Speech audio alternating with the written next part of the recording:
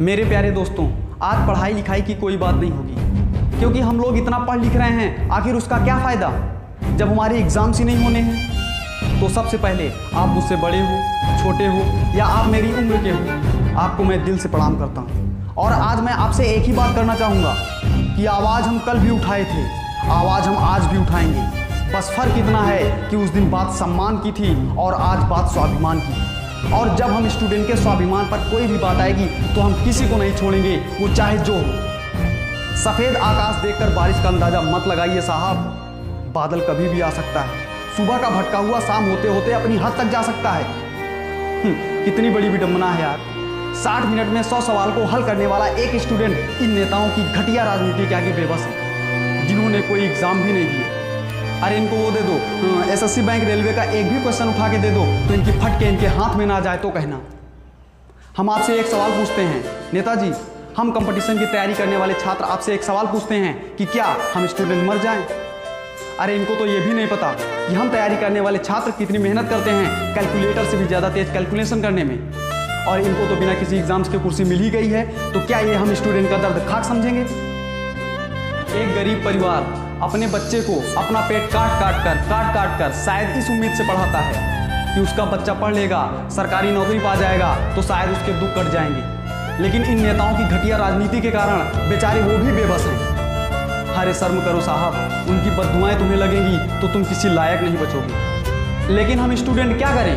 दुख तो तब होता है जब तंत्र और सिस्टम हमारे भावों को नासूर बना देते हैं। हमारे भविष्य को भूत के अंधकार में ढकेल कर हमारी रीढ़ की हड्डी तोड़ दे रहे हैं। और इसी दर्द के साथ हम लोग समाज और परिवार के घावों को भी झेलते रहते हैं जीवन के साथ साथ। घर में चल रहे सिर दर्द को तो हम किसी तरह झेल भी लेते हैं, लेकिन जो जग, जो पीड़ा सरकार हमें बेरोजगार बना के दे रही है ना, उसको हम नहीं झेल पा रहे हैं। और जब यही दर्द, यही पीड़ा एक भयानक रूप लेती है ना तो एक दीमक की तरह रोज रोज हमारे जख्मों को ताज़ा करती रहती है। फिर भी ऊपर बैठे, ओट की टकटकी लगाए इन नेताओं को हमारी चीखें सुनाई नहीं देती हैं। और सुनाई देगी भी कैसे? क्योंकि दोनों कानों में छलावे का हेडफोन जो लगा हुआ है। लेकिन इस बार आवाज़ सुनाई नहीं, बल्कि इनके कानों तक गूंजेगी क्योंकि हम वही युवा हैं कि जब देश को ज़रूरत पड़े तो कलम से शांति भी ले सकते हैं, और जब देश को ज़रूरत पड़े तो कलम से क्रांति भी ले सकते हैं। आप हमें इस कदर बेबस मत करिए साहब कि हम सृजन का कार्य छोड़कर विध्वंस पर लगा दें। ज़्यादा उलटफेर आपके तंत्र का उलटफेर कर सकता है। वक्त है, जाग जाइए, नहीं तो बीता हुआ वक्त कभी वापस नहीं आता है।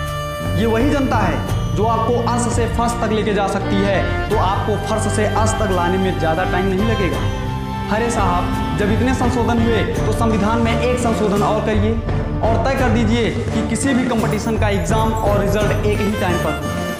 अरे आप लोग पत्थर हैं या पत्थर की मूर्त, जो किसी भी सूरत में बदलने का नाम ही नहीं लेते।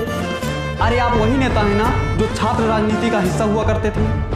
और आज जब आप नेता बनकर सत्ता में आए तो हम स्टूडेंट के साथ आप सत्ता की राजनीति करने लगे। लेकिन आपको याद रहे कि ये पहली ऐसी लड़ाई है जिसमें हर युवक खुद सिपाही है, खुद सेनापति है, खुद सारथी है और इस युद्ध का निर्णायक भी खुद है। बस अब ज़रूरत है तो इस आग को अपने भीतर रखे रहने और जब कभी भी तुम्हारी हिम्मत टूटने लगे तो जरा सोचना अपने माँ बाप के बारे में, जिसने तुम्हारी आँखों में अपने सपने को पलते देखा याद करना कि तुम तैयारी के चक्कर में रक्षाबंधन के दिन अपने बहन से राखी बनवाने के लिए घर नहीं जा पाए थे। तो तुम्हारी तपस्या, तुम्हारा बलिदान ही तुम्हें बल देगी।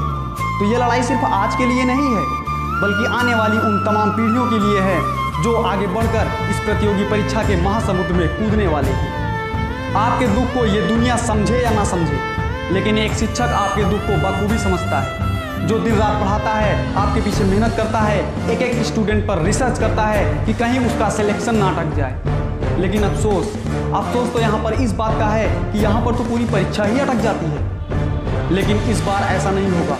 इस बार ऐसा नहीं होगा क्योंकि युवा पीढ़ी के साथ साथ शिक्षक भी उनके साथ। तो हमारा आप सभी से एक रिक्वेस्ट है कि इस कैंपेन को हमें जारी रखना है। क्योंकि इस बार हम रुक गए, इस बार हम चूक गए, या फिर इस बार हमारी आवाज़ को दबा दिया गया तो उन सभी शिक्षकों का अपमान होगा। और उन तमाम आने वाली पीढ़ियों को कड़वा घूट पीना होगा।